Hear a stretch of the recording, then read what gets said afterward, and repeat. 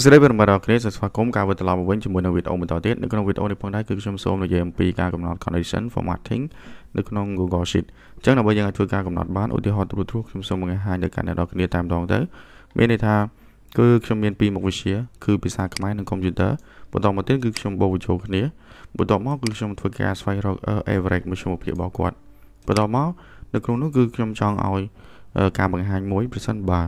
នៅក្នុងបន្ទុកមធ្យមភាពណាមួយក្រោម50ក្បៀស គឺត្រូវតែចេញពណ៌ក្រហមបាទអញ្ចឹងនៅកន្លែងនេះគឺខ្ញុំដាក់លក្ខខណ្ឌតែម្ដងបើសិនជាវាតូចជាងបាទ50អញ្ចឹងមានន័យថាពី49ចុះក្រោមគឺពណ៌កន្លែងនេះគឺពណ៌ក្រហមហើយអញ្ចឹងខ្ញុំសូមដាក់ពណ៌ឲ្យបាទហើយបន្តមកទៀតបើសិនបើវាស្មើនឹង50ស្មើនឹង50បញ្ជាក់ថាជាប់ហើយអញ្ចឹងបើសិនជាស្មើនឹង50អឺបញ្ជាក់ថាជាប់អញ្ចឹងមានន័យថាគឺឲ្យពណ៌នេះវិញខ្ញុំសុំមើលពណ៌ ជាលក្ខណៈ orange បាទហើយបន្តមកទៀតបើសិនមកវា pass គឺចាប់ពី51ឡើងទៅ មានថាធំជាង បាទ51អញ្ចឹងទៅឬក៏ធំជាង50ឡើងទៅលើ គឺអឺបង្ហាញពណ៌3 3ថងអូខេអញ្ចឹងមាន3លក្ខខណ្ឌបែបនេះអញ្ចឹងសំណួរសួរថាតើយើងកំណត់បែបណាជាមួយនឹង condition condition formatting ចឹងទី1យើង select យកទី1ត្រាំង average នេះរបស់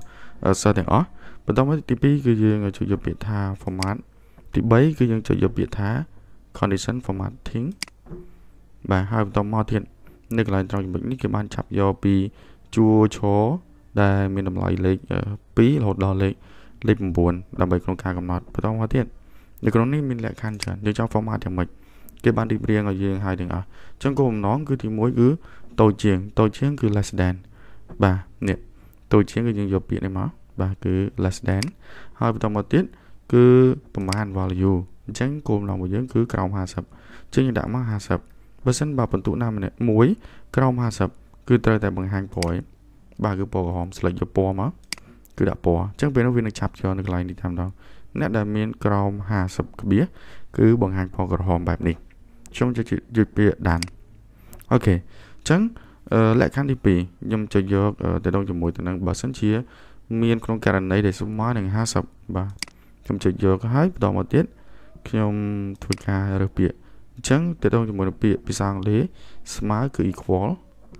បាទនេះ is equal to អញ្ចឹងបើសិនបើវាស្មើនឹង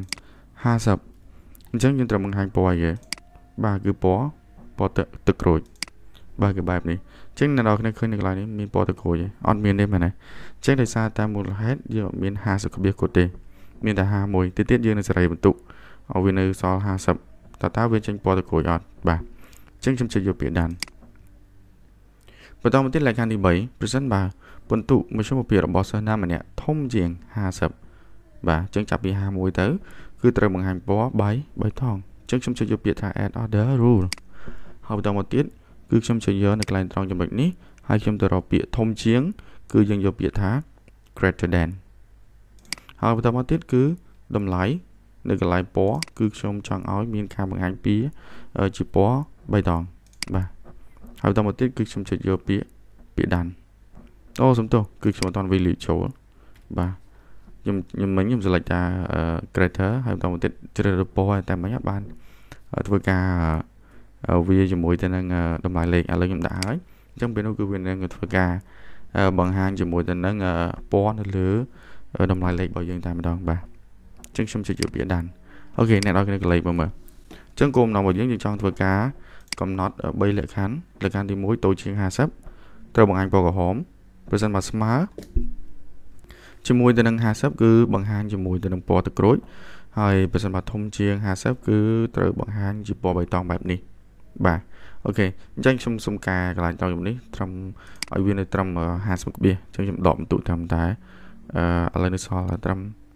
84អូ84នៅសល់ត្រឹមតែអឺ49ក្បៀសអញ្ចឹងដាក់ថា86ចាស់នេះចឹងបើសិនបើបន្ទុកសិស្សណាម្នាក់ស្ថិតនៅក្នុងកលៈទេសៈមួយបន្ទុករបស់គាត់មធ្យមភាពស្មើនឹង50អញ្ចឹងពណ៌ដែលយើងបានកំណត់អំបញ្ញមិញគឺពណ៌ពណ៌ទឹកក្រូច បាទអូខេនេះគឺជាការកំណត់មួយ ដែលយើងប្រើប្រាស់ condition formatting នៅក្នុងការកំណត់ទៅលើតនន័យណាមួយដោយយើងមិនចាំបាច់ select ម្ដងមួយម្ដងមួយហើយចាក់ពណ៌វាវានឹងចាប់យកអូតូតែម្ដងប្រសិនបើលក្ខខណ្ឌណាមួយដូចទៅនឹងក្នុងការកំណត់របស់យើងអូខេអញ្ចឹងយើងវិលទៅរកទៅជាមួយនឹងការលុបលក្ខខណ្ឌវិញយើងចុចយកនៅក្នុង format ហើយបន្តមកទៀតយើងចុចយកពាក្យដដែលមក condition formatting ហើយបន្តមកគឺយើងមើលនៅកន្លែងត្រង់ចំណុចនេះថាតើ អឺយើងចង់លុបវាឬក៏យើងចង់ edit វាប្រសិនបើអ្នកនរគ្នាចង់ធ្វើការ edit យើងគ្រាន់តែ select មកឧទាហរណ៍ថាឥឡូវពណ៌នេះខ្ញុំចង់ដាក់រៀងពណ៌យ៉ាងស្ដើងជាងនឹងតិចអញ្ចឹងខ្ញុំចុចយកនៅកន្លែងប៊ូតុងមួយហ្នឹងមកហើយបន្តមកទៀតកន្លែងត្រង់ចំណុចពណ៌ខ្ញុំអាចជ្រើសពណ៌យ៉ាងស្ដើងជាងនឹងបន្តិចមកបាទបន្តមកទៀតខ្ញុំចុចយកពាក្យថា done អូខេអានេះគឺជាការ edit បន្តមកទៀតបើសិនបើខ្ញុំចង់លុបលក្ខខណ្ឌចេញគឺខ្ញុំគ្រាន់តែ select មកយកទម្រង់ណាមួយលក្ខខណ្ឌណាមួយបាទ ពីព្រោះយើង select មកវាបង្ហាញបែបនេះដោយសារថា cell ដែលជាប់កំពុងតែជាប់ជាមួយនឹងលក្ខខណ្ឌគឺវានឹងបង្ហាញឲ្យយើងតែម្ដងបាទហើយបន្តមកទៀតខ្ញុំលុបវាបាទលុបមកអត់មានជាបញ្ហាទេហើយបន្តមកទៀតយើងខ្វែងវាចេញអញ្ចឹងលក្ខខណ្ឌដែលយើងធ្វើការកំណត់3មាញ់មិញគឺត្រូវបានបញ្ចប់អូខេអញ្ចឹងនៅកន្លែងត្រង់ចំណុចនេះគឺខ្ញុំមានការចែករំលែកតូចទេ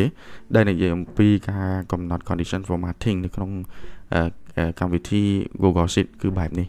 អូខេអញ្ចឹងខ្ញុំមានការចែករំលែកនេះប្រសិនបើប្រិយមិត្តមានចម្ងល់សូមកុំភ្លេចជួយ comment នៅក្រោមវីដេអូទាំងអស់គ្នាអរគុណច្រើនសម្រាប់ការទស្សនា